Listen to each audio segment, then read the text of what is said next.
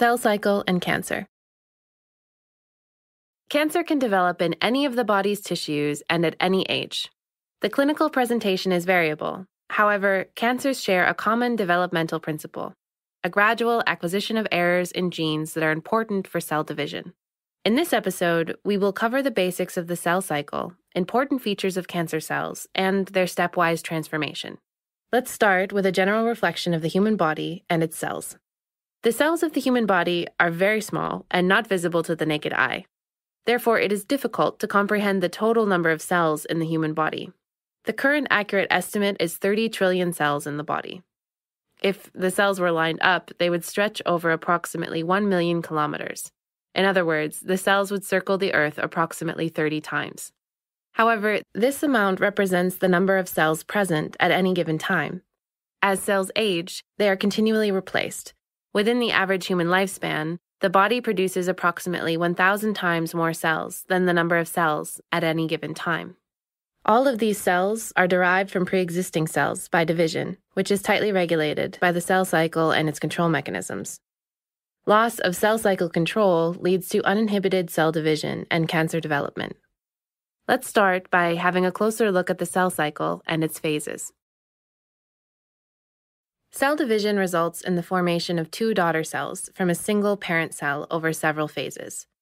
The cell cycle is composed of four phases the G1 phase, the S phase, the G2 phase, and the M phase. The two most important phases are the S phase and the M phase. During the S phase, or synthesis, DNA is replicated. During the M phase, or mitosis, the cell divides into two daughter cells. The G in the G1 and G2 phases stands for gap because these phases correspond to intervals between the M and the S phases. Let's go through the normal sequence of events in the cell cycle. In the first phase, the G1 phase, the cell grows and synthesizes the proteins required for DNA replication. In the S phase, the amount of DNA in the cells is duplicated. In the G2 phase, the cell prepares for mitosis. During this phase, additional proteins are synthesized. The final phase is the M phase, in which cell division occurs. The chromatids are separated evenly between two daughter cells. Depending on the nature of the cell, there are three options after mitosis. If further cell division is required, the cells re enter the G1 phase and prepare for the S phase. If further cell division is not required, but potentially at a later stage, the cell may enter a resting phase, the G0 phase. Once in the G0 phase, the cells can exit and re enter the G1 phase. This is regulated by external signals such as growth factors, which bind to receptors and initiate an array of signals that trigger cell division. However, in most cases, the daughter cells make an irreversible exit from the cell cycle and differentiate. The process of cell division is prone to errors, and it is important that no genetic errors are passed on to the daughter cells. To deal with such errors, the cell cycle has checkpoints at certain stages. These checkpoints ensure that the requirements for the next phase are fulfilled. At the end of the G1 phase, the cell is examined for any DNA damage, and whether necessary substrates are available for DNA replication. If necessary, the cell cycle is stopped to repair any damage. In the G2 checkpoint, the cell is examined for incomplete DNA replication. If this is the case, the cell can initiate programmed cell death, also termed apoptosis, to prevent damaged genes from being passed on. The M checkpoint, which occurs during mitosis, determines whether the chromosomes are about to be correctly distributed.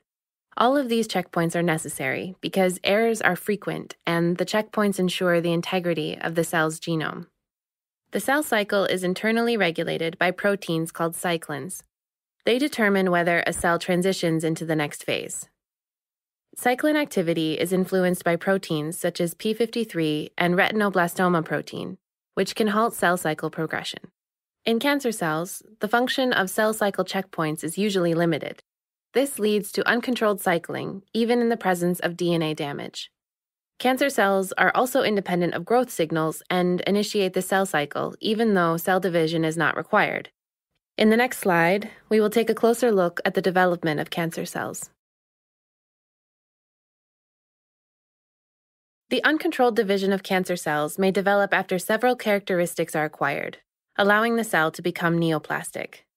Ten hallmarks of cancer have been postulated to describe these changes and are shared by most cancers. We would like to highlight five of these hallmarks in this episode. First, cancer cells are capable of sustaining proliferative signaling in the absence of growth factors. In other words, they are able to enter the cell cycle without requiring positive external signals. Second, cancer cells are able to evade growth suppressors. Let's use an example here. Non tumorous cells grown in a petri dish would proliferate until a single layer is formed that covers the bottom of the dish. A phenomenon known as contact inhibition would then prevent the cells from further proliferation. In contrast, contact inhibition is lost in cancer cells and results in uncontrolled cell growth and proliferation, producing a multilayer of cells. Another example of growth suppressors are the cell cycle checkpoints, whose function is usually impaired in cancer cells and leads to unchecked growth. Third, cancer cells can divide indefinitely. They have limitless replicative potential. This is in contrast to non cancerous cells of the body, which are incapable of indefinite division. The mechanism behind this lies in the telomeres, which shorten with each cell division. However, in germline cells, where repeated division is required, the enzyme telomerase is able to elongate these ends, thereby enabling indefinite cell division. The interesting part Telomerase is often reactivated in cancer cells, allowing them to divide indefinitely. Fourth, cancer cells also show increased genetic instability and therefore have a higher frequency of mutations.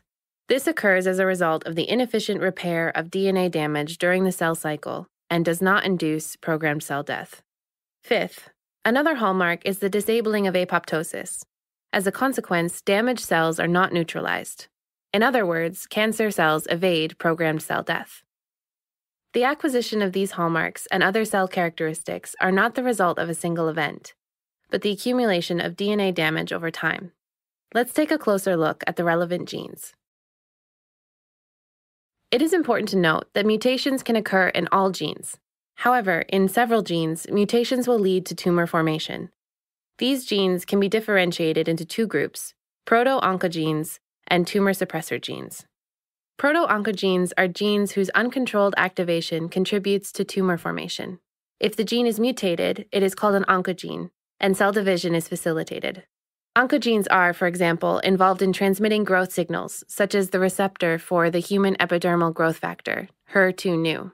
In contrast, tumor suppressor genes require deactivation to contribute to tumor formation. The most important tumor suppressor genes control the cell cycle and, when functional, inhibit uncontrolled cell division. One example is P53. It has been nicknamed the guardian of the genome due to its importance. Regarding the terminology, you might want to keep in mind that anti oncogene is sometimes used synonymously with tumor suppressor gene. Mutations in these genes usually occur over time and will be discussed in the next slide. Tumor development is the result of DNA damage in the cell. The cell's own repair mechanisms usually remove any defects.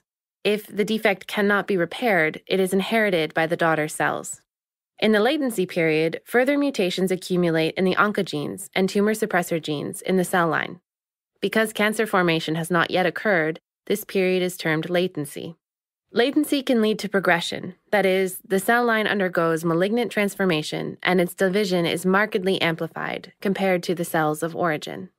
To understand the dynamics of tumor formation, it is important to realize that mutations are not inherited in a predetermined order from the original cell to the tumor.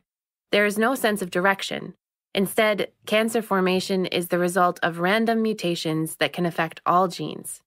Some of the mutations affect cell division and control mechanisms. Such cells divide more frequently and have a growth advantage compared to other cells. In these cells, the probability of a new mutation is elevated because of its increased rate of cell division and absent control mechanisms. On the one hand, mutations in cancer genes are a random event. However, the risk of further mutations increases over time, and malignancy is more likely after acquisition of certain hallmarks. The image shown here illustrates a further feature of tumors. Tumors are not composed of a large number of one exact type of cancer cell, but are a diverse population of cancer cells. This is sometimes referred to as tumor heterogeneity.